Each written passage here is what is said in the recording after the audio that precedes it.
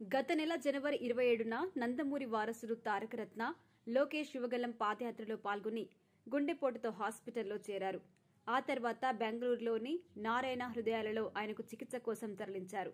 ఇక ఆయన శరీరం ట్రీట్మెంట్కు సహకరించకపోవడంతో ఆయన కన్నుమూశారు ఇక ఇదిలా ఉంటే తారకరత్న తండ్రి గారైన మోహన కృష్ణ గురించి అందరూ చర్చించుకుంటున్నారు.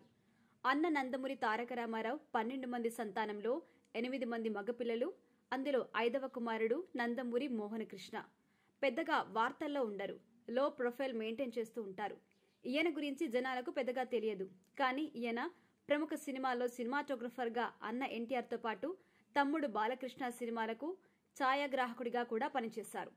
ఈయన సెప్టెంబర్ రెండు పంతొమ్మిది వందల యాభై ఆరులో అన్న హరికృష్ణ పుట్టినరోజే ఈయన జన్మించడం విశేషం.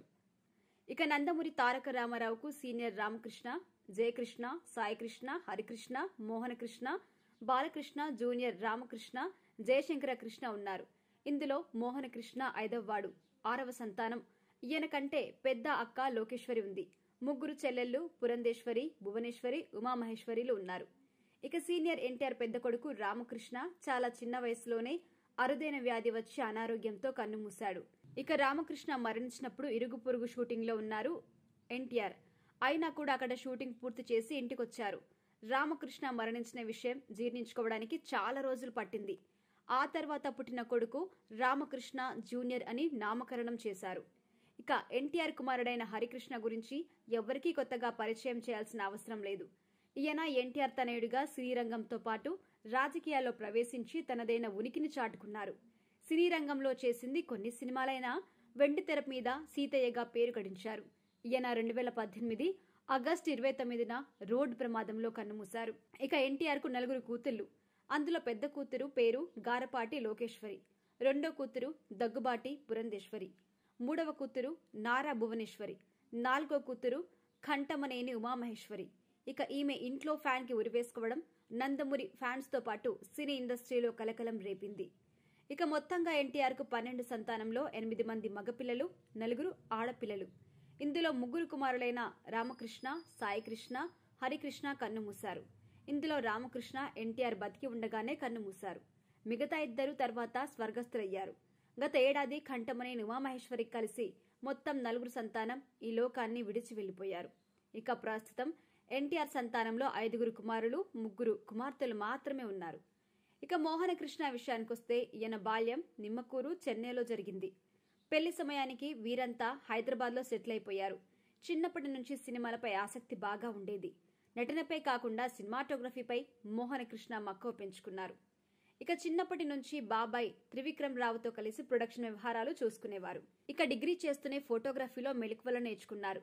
ముందుగా దానవీర సూరకర్ణకు అసిస్టెంట్ కెమెరామ్యాన్గా కన్నప్ప వద్ద పనిచేశారు. ఇక ఆ తర్వాత ఎన్టీఆర్ హీరోగా తాతినేని రామారావు దర్శకత్వంలో రామకృష్ణ సినీ స్టూడియోస్ బ్యానర్లో తెరకెక్కిన అనురాగ దేవత సినిమాతో సినిమాటోగ్రఫర్గా తన ప్రస్థానం మొదలుపెట్టేశారు.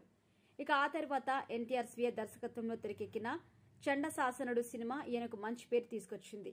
ఇక ఆ తర్వాత ఎన్టీఆర్ బాలయ్య ముఖ్య పాత్రలో నటించిన శ్రీ మధ్విరాట్ పోతులూరి వీరబ్రహ్మేంద్ర స్వామి చరిత్రకు ఈయన అందించిన సినిమాటోగ్రఫీకి మంచి పేరు కూడా తీసుకొచ్చింది. ఇక ఆ తర్వాత వెనుదిరిగి చూసుకోలేదు మోహనకృష్ణ. ఆ తర్వాత అనురాగ దేవత కత్తుల కొండయ్య అల్లరి కృష్ణయ్య దేశోద్ధారకుడు శ్రీనివాస కళ్యాణం బ్రహ్మర్షి విశ్వామిత్ర భార్గవరాముడు పట్టాభిషేకం ఇక పలు సినిమాల్లో ఛాయాగ్రహుడిగా పనిచేశారు. ఇక ఎన్టీఆర్ చివరి రోజుల్లో నటించిన సామ్రాట్ అశోక శ్రీనాథ కవి సార్వభౌముడు వంటి సినిమాలకు ఈయనే సినిమాటోగ్రఫీ అందించారు. ఇక నందమూరి హీరోలతో కాకుండా వెంకటేష్ హీరోగా నటించిన శ్రీనివాస కళ్యాణం సినిమాకు కూడా ఛాయాగ్రహుడిగా పనిచేశారు. ఇక ఈయన పంతొమ్మిది వందల ఎనభైలో ప్రముఖ నిర్మాత యు విశ్వేశ్వరరావు కూతురు శాంతిని వివాహం చేసుకున్నారు. వీరికి నందమూరి తారకరత్న నందమూరి రూప ఉన్నారు. ఇక ఈమె వివాహం రెండు వేల పద్నాలుగులో ప్రముఖ వ్యాపారవేత్తతో జరిగింది. ఈయన పలు సినిమాలను నిర్మించారు. ఇక చివరిగా కుమారుడు తారకరత్నతో వి సముద్ర దర్శకత్వంలో తెరకెక్కిన వెంకటాద్రి సినిమాకు నిర్మాతగా వ్యవహరించారు. ఇక ఏదేమైనా ఎంతో భవిష్యత్తు ఉన్న ఒక్కగానొక్క కుమారుడు తారకరత్న. ఇలా అకాల మరణం చెందడం అత్యంత బాధకరం.